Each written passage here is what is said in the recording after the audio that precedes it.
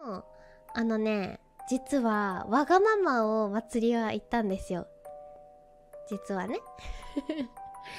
あのーセンター誰にしますかっていう話をされたの。この曲は誰にしますかとか。でで歌詞に合わせてセンター決めていきますかみたいな言われた時に祭りが「センターは作りたくありません」って言ったの。うん、ん？みたいになるじゃんそう。祭りは1期生ってデビューしてる時点でやっぱり全員が主役だと思うし今回のライブは誰かが主役とかじゃなくて全員が主役になれるようにしたいなって思うんで結構祭りたちまあ、他のホロメンホロメンっていうか他の1期生のみんなに負担をかけちゃうかもしれないけどどうしても祭りは入れ替えで 全体曲はマジで。もう大変なのは分かってるけどやりたいって。全員がセンターに来るようにしてくださいって言ったらじゃあやってみましょうってなってね。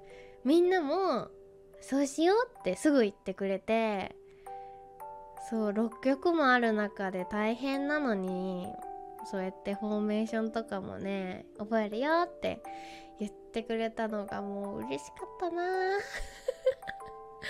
そう。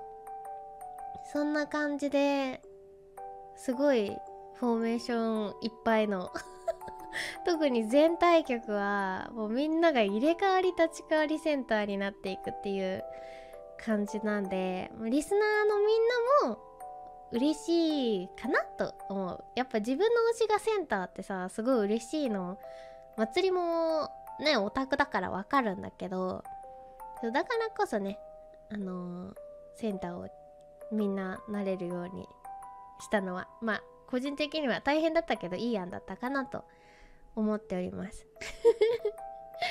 そうそうそう。うん。いやよかった。